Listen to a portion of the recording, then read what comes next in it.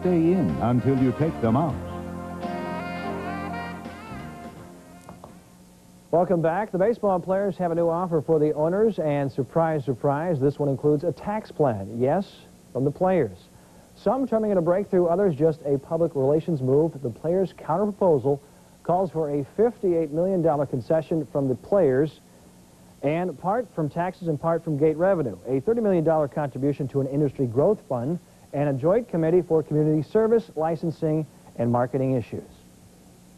We are very, very confident and uh, very optimistic that we have taken a large step and we really feel uh, we're looking forward to uh, seeing the, the owner's response. We are encouraged by their concerns about our mutual self-interest in growing the game, and we welcome the prospects of a lasting relationship between the owners and the players. The owner's initial response was we're not impressed, but they'll meet again Sunday or Monday to discuss it formally. Gary. Last March, Massachusetts figured to be Arkansas's biggest challenge on the way to the Final Four, but in the second round of the Midwest Regional, the Minutemen got stunned by Maryland and freshman sensation Joe Smith. Saturday afternoon, they journeyed into Joe's backyard, bent on revenge.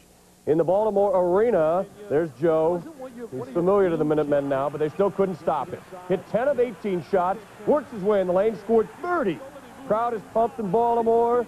Smith is pretty fired up himself. Lou Roe was not. He was in foul trouble, scored just six points. But the D picked it up. Off the steal is Dana Dingle.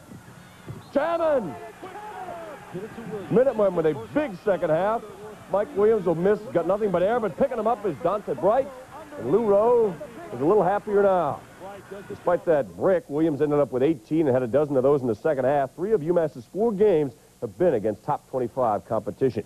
In one of the year's best games, closing seconds, Michigan State against Nebraska, gets something off. Tom Wald can't. Won't go.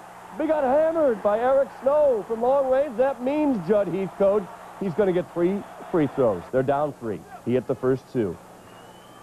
Got to get this one. He got it. It's tied. Now on the inbound. Michigan State waiting to set something up. Don't want to run that half second off. Here comes Strickland to win it. Won't go. Tied at 80. We're headed to overtime. There, Erick Strickland found the mark. The long three, and Nebraska upsets at 96-91, despite 37 from Shawn Respert, but he did hit just a, barely a third of his shots. As for his clutch free throws, Walt said, I was unconscious. I didn't even know the referee handed me the ball until the second one. Hey, Gary, we got some more scores for you. Number three, Arkansas gets 17 from Clint McDaniel as they beat Murray State.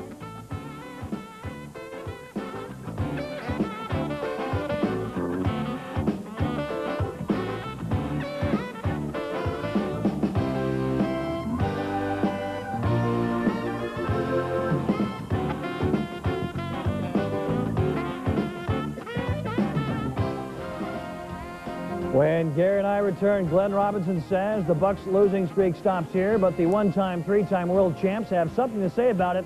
Where there's a will, oh, there's a way. Lakers Jazz. Nick Van Exel, sprained ankle out of the game. Who's going to take over? Sedale Threatt, the veteran, against John Crotty. loves playing this game. Sedale! Season high 38. Lakers by nine at the half. In the third quarter, the rookie Eddie Jones. Oh, hurt me! Lakers hold off a late run by the Jazz, and they win it. Sedale hits 13 of 19 from the floor. He also had eight assists.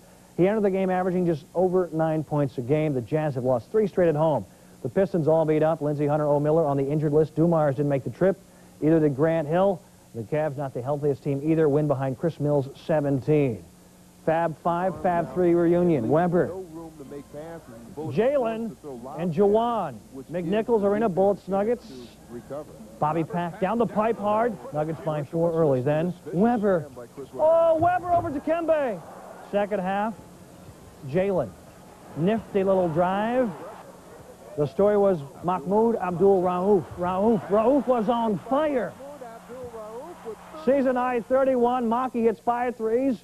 Jalen Rose scored a career high 14. O. Webber 15 and 10. The Suns beat the Wolves, who play without Christian Laettner. Wesley Person, the Baby Rifle, scored 25. Possible tension between Bill Blair and Isaiah Rider. Rider. It's called a press conference for Monday. Gary. Christmas came early to Dennis Rodman. to his hair. Calling the garish green he's going with his Christmas do, the Spurs prodigal son returned to active status Saturday, but stayed in a Houston hotel.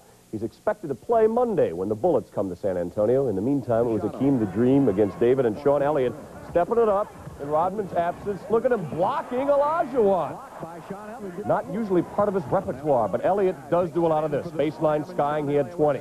Big night for Avery Johnson. Everyone came to see the Admiral and the Dream. Instead, it was the guard play of A.J. who just takes it in himself. Spurs were burying him by 11 at the break. Then David got into it from A.J. Big old smile on his face as they win it easily. 108 to 96. Robinson now 12 and 10 head up with Akeem, but the league's number three score 10 below his 20 point, 28 point average. Olajuwon was 10 of 24 from the floor. The Rockets hit just 4 of 21 in their trademark trays. Chuck Person alone, 6 of 9. Reunion Arena, the Mavs hosting the Hornets. Dick Motta trying to hide the ball and doing a little teasing to Larry Johnson, a new father. Missed last night's game on the birth of his child. He was in there tonight watching Jamal Mashburn from Jason Kidd, who had his best assist night as a pro. Big run, Kidd spotting Jimmy Jackson underneath. Allan Bristow not happy with his team's effort. Popeye Jones doing a little Jason Kidd work himself, piping it into Jimmy Jackson. And the Mavs win it by a baker's dozen. Motta passes our own Dr. Jack Ramsay for third in the all-time coaching win list, but he does have a losing record. Allan Bristow observed, we got annihilated on the boards probably our softest effort in over two weeks. Bradley Center, Bucks and Bulls. Glenn Robinson would have his most significant night as a pro. Dish in the closing seconds. Great pass, and the big dog puts his team up by three late in the fourth. 4.4 seconds left. Scottie Pippen. Uh, I'm surprised it came that close. That was the decisive bucket, and the big dog gets some appreciation Pippen hit just 8 of 22 shots. The Bulls fall back to 500. They've won consecutive games only once this season. At Market Square, Reggie Miller equaled his season high with 33. The Pacers won their fifth straight. John Starks didn't start, didn't play all night long. Pat Riley wouldn't explain it. Charles Smith helped out up front.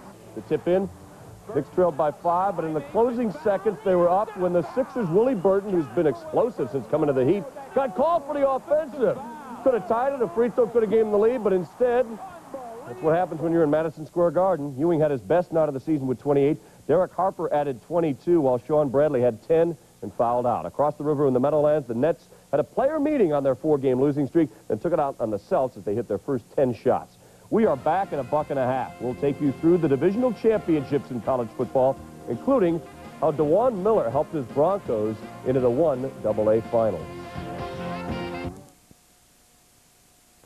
Next on C-SPAN.